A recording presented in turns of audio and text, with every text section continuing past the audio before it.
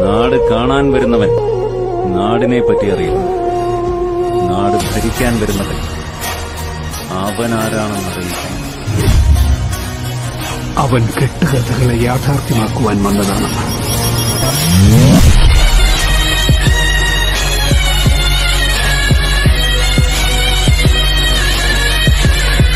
അവൻ കരുതിക്കൂട്ടി തുനിഞ്ഞിറങ്ങിയിരിക്കുന്ന മകനാണ്.